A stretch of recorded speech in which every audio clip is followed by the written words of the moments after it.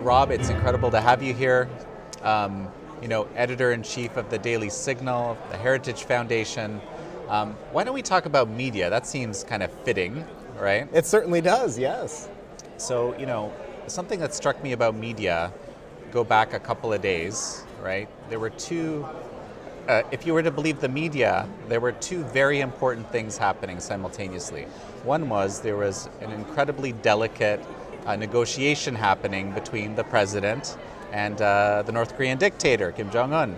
At the same time, there was a hearing uh, with Michael Cohen uh, at the same time. At and, the exact same at time. the exact same time. That's pretty fascinating timing. Um, and and uh, t- tell me a little bit well, about how the media looked from your perspective. Well, let this. me just tell you my yeah. observation. I yeah. mean, frankly, I, I, I mean, well played on the part of the Democrats to steal the headlines because in the next day's papers, New York Times, Washington Post, LA Times, you can go down the list. The top headline was about Michael Cohen and not about one of the most important negotiations that President Trump is going to have in his first term, and that is with North Korea. Now, important it, not just for Americans, right? Exactly, like, worldwide. But I will tell you, this is the problem that we have today. That the Michael Cohen headline is what sells, and they know that leading with that, in some cases, five columns all across the paper, dominating the nightly news, dominating cable news. Uh, it was done purposely to take it, away it the attention like from President Trump. So, and then we found out no deal. Right. And, and it's a failure. but if you've read President Trump's book, Art of the Deal, you know that this is one of his best negotiating tactics. Sometimes you have to walk away. And, and I think that on day two and, and as we proceed, people are going to start to recognize that. I think the initial coverage was it's a failure, uh, Trump fails in Vietnam, uh, but that's going to subside because I think as people recognize that North Korea is acting up to its old games again, President Trump was probably right to do what he did to me, it seems like an obvious negotiation tactic, not only against North Korea, but you know, Xi Jinping was definitely noticing what was happening over there. Absolutely, yeah. absolutely. Well, and look, I, I think frankly, these stories that we're talking about, I mean, it's the exact reason that we created the Daily Signal. It's it's a reason that the Epoch Times exists because there are so many outlets today that are not interested in either telling the truth about what is really happening or deliberately ignoring stories. I mean, you take CNN earlier this week, not reporting on the Born Alive Abortion Survivors Act vote in the Senate.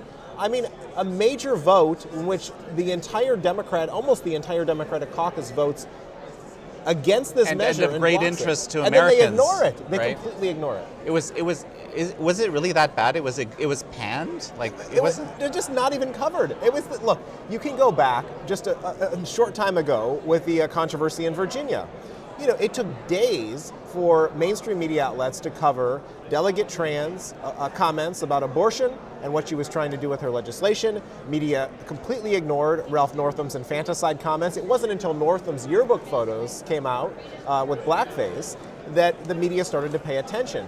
The interim period, they were more than happy. There was, there was a great example where Time magazine actually did a story criticizing a Republican governor for his comments on the weather and the polar vortex while completely ignoring Ralph Northam and his comments on infanticide. And this is the world that we live in. And this is why I think the media's, uh, the trust in mainstream outlets has gone down. Record why conservatives yeah. in particular have lost faith in those organizations, and why places like the Daily Signal and Epoch Times are on the rise. And I think it's so critical that we do the work that we're doing. So it, it, it, I want to get your take on this. Actually, I, I've been noticing a shift uh, in let's call it the narrative around the Mueller investigation. I'm wondering if you've noticed something around this. I find it pretty fascinating because it's been pretty steady, right? Mueller is going to find the truth. Mueller will expose everything.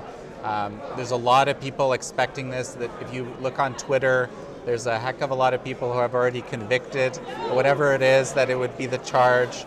Um, and yet, uh, uh, suddenly, I mean, maybe about a week ago, maybe a week and a half, something like that, I'm seeing a little bit of a shift. I see Adam Schiff, speaking of Schiff, um, uh, saying things like, "Well, it doesn't." It, correct me if I'm wrong, but we're going to keep we're going to keep on. No, I'm sorry. It was actually Nadler. It was Representative okay. Nadler that said that. It, it you know d- doesn't matter what happens with Mueller. We're going to keep looking. Um, what's your take on this? Well, I think it's a, a great example of another s- situation where you could have uh, the, the report come out, the media dissatisfied with the findings, and then basically write their own report. And, and they're going, I mean, there's a no, this is a no-win situation for President Trump, is basically what it comes down to. So uh, the, the, the, report could come out, and it could come out in the next week or two weeks or sometime in the short period. It's imminent. And, and, I mean, right, I think, right, exactly. Yeah. And we could know instantly, or you know, if uh, if the Attorney General decides not to release the full report, of course, then that'll be a controversy, and it'll be like, okay, what is he hiding? And we'll have days of this coverage. It's almost like we can predict exactly. what the coverage is going to be. Absolutely that's, that, predict. That, that's that's very disturbing to me. Well, because it's, right? a, it's a reversal of what I think so many of us learned when we uh, learned journalism and reporting. I mean, you actually observed what was happening and you reported on that. And now, uh, you're right even before Mike Pence or Donald Trump speak at CPAC, the stories are already written. You, you, you know that in many cases they're going to latch on to certain things and, and portray them in the most negative light possible. Uh, you know, sitting in the uh, in the, the press room here at CPAC, I mean, you can almost see it on the reporters' faces who are in that room. So it's not a surprise, and I think the American people are smart enough to see through it. But not enough of them, perhaps. Perhaps not enough of them. Or, or, well, or, or, are you just not doing a good enough job? Or, uh, you know, I, have been saying, we've been writing about, for example, we've been writing about Huawei, right? Yes. This extremely dangerous Thank company, coverage, yes. not just for, you know, America, for the world, right? Basically, arm of the Chinese Communist Party for at least a decade. For at least a decade. Um, but we didn't. I feel like we didn't do a good enough job transmitting this information. Now people get it in a broader sense, but I, I think distribution is one of the hardest things that outlets like ours face because we we are, are, at a disadvantage uh, compared to the legacy media outlets, which in some cases, you know, have you know built-in advantages on social media and other forms. Rob, thank you so much. Thank Pleasure you, to speak with you.